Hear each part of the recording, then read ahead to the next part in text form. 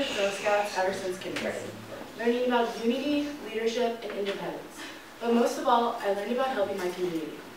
As a troop, we have been on many quests for awards to help us progress in Girl Scouts. We have worked with organizations with things such as cleaning our beaches and helping to reduce the use of pesticides and pesticides. All of these projects felt rewarding, but the fairs were the most fun. One of my best friend's moms works at the Academy in Science and often ran booths at science fairs. Ever since my Girl Scout troop went to one in the summer of fourth grade, I have been determined to have a future in marine biology. One station I interacted with was simple, yet paved my future goals. There, I made an ID card fully equipped with a profile picture and a description of my future job. I sat down and at a computer that listed hundreds of possible careers. I first clicked on the basic dreams of a fourth grader, a fashion designer, and an actress. Read the description, but moved on. Finally, I clicked on marine biology. I was hooked. I remember reading that we have explored less than 5% of our ocean. And instead of being overwhelmed or scared that a giant monster from the deep ocean will come up and terrorize San Francisco, I became fascinated.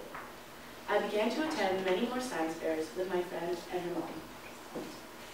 Last year, I was able to indulge myself in this topic when we, when we were assigned our passion project. I researched the deep sea and immersed myself in its species and environment.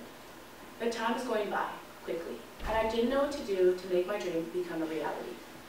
Because of this, I'm currently looking into volunteer work for this and next summer to see if my future lies in the interaction of animals or the study in labs. Although I was set on a career at such a young age, I still had to get through school.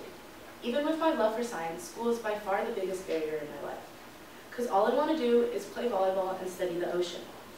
While school is hard and monotonous, I understand that it is necessary to be able to move forward and progress in my future.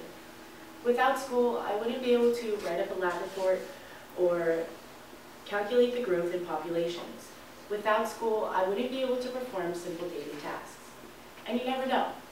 I might be able to appreciate school more throughout my last two years of high school.